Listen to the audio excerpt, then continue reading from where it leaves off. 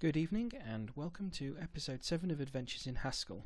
This evening we are going to address a bug which I'm hoping at least one of you spotted in the uh, result of the previous video and if you haven't spotted any major bugs in the uh, previous version then I urge you to stop now, go back and have a look.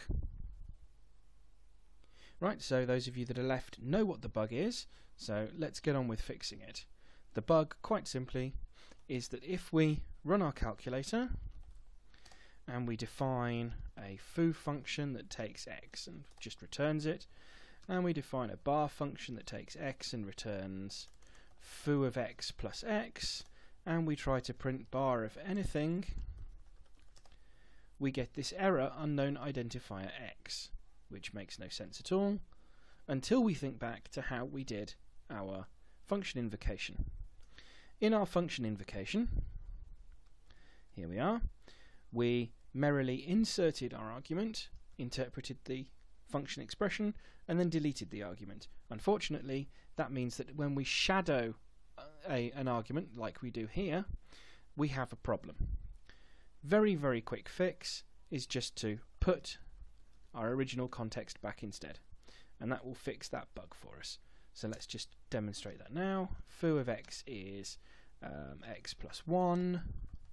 Bar of x is uh, 2 times foo of x plus x. Bar of 10 is therefore 32, which we can verify as 10 foo of x gives us 11. Twice that is 22, plus our original 10 gives us 32. So that's our bug fix. And the other problem for the calculator is that if we have a parse error, we can carry on. But if instead we have um, a missing variable, we end up exiting. So we'd like to add some error recovery to our calculator.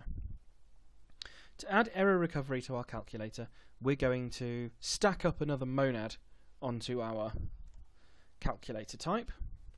And the uh, monad that we're going to use is called error t.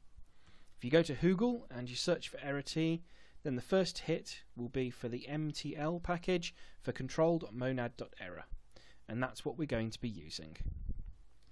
Very briefly, ErrorT is an error is a transformer monad which allows us to fail an operation.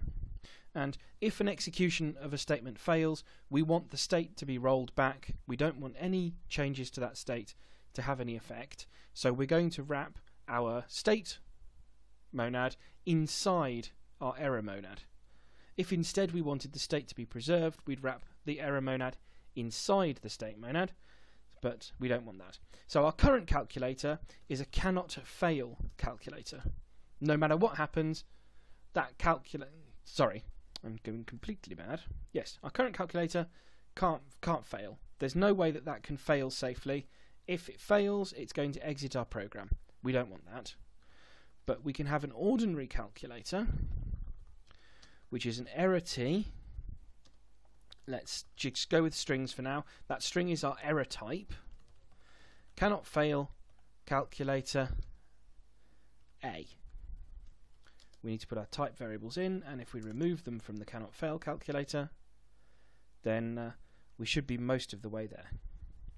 Emacs is telling me that there's no type constructor ErrorT, so let's go and import that. Import control.monad.error. Come back down to our interpreter. That error has gone away. We can keep scrolling through. And the only problem is left is that main can't run because, well, it's not a StateT anymore. It's an ErrorT of a StateT. So let's go ahead and say that our main calculator function cannot fail, which moves our error into there, and our line by line calculator function cannot fail, which means that we only need to think about our interpret statement. And the easiest way for us to think about our interpret statement is for us to get our error result back and pass the state through. So if we just do result comes from that, uh, case result of, it's either going to be an error on the left, in which case we do the same idea, idea again as we did above. Let's say it's run error, or it's a result, in which case we're just going to do nothing because that's what we need to do. We've got one more little hiccup, and that means that I need that tick there. And we're getting there now. What's left here?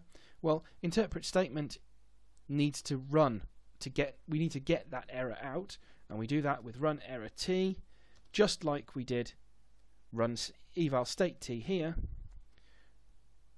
to get our state out at the end. So we've run our error. The result the rest of that is so runErrorT of interpret statement is a state operation which returns an either string empty. So this means that now when we run our calculator, a parse error has the same behavior, and a runtime error gives us something we, where we can carry on. This is really valuable, and it's going to be important going forward. So today we've fixed two bugs, we've added error recovery, and we have corrected a problem where we were shadowing a variable. I know this one's a short one, but uh, I just wanted to introduce another monad transformer stacking up on our stack and uh, just to cover once again the reason that we put the ErrorT outside the StateT is because we want to be in a situation where um, we either succeed at running our entire calculator or we fail. And that's why we wrap it up that way. Okay, uh, I will see you next time when we're going to try and add conditionals, uh, which will be a little bit more hairy. And with that, therefore, we should be able to do recursive function definitions and have a go at implementing uh, some Fibonacci type sequences. See you then. Bye bye.